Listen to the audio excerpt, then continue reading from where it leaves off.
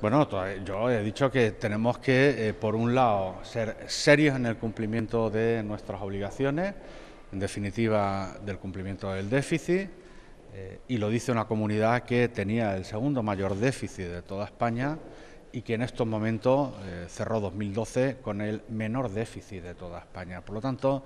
eh, no podemos relajarnos en ningún caso porque las obligaciones que tenemos con la Unión Europea, con el Gobierno de España, de las comunidades autónomas, no se han variado. En la medida que vayamos cumpliendo desde Extremadura, yo no entro en el resto de comunidades autónomas porque cada una tiene eh, sus particularidades, tienen sus fundamentos eh, económicos y por lo tanto no me compete a mí enjuiciarlas en el momento que nosotros sigamos cumpliendo con nuestros objetivos de estabilizar las cuentas públicas y por lo tanto controlar el déficit, eh, la tendencia natural del Partido Popular es bajar los impuestos y por lo tanto lo que sí está claro es que voy a poner el acento en algo, en algo que para mí es esencial, que son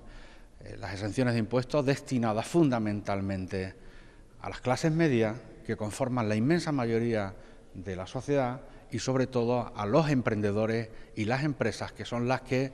eh, dan fortaleza a una región y dan fortaleza a cualquier comunidad. Y por lo tanto a ellos irán eh, destinadas las medidas para el próximo 2014.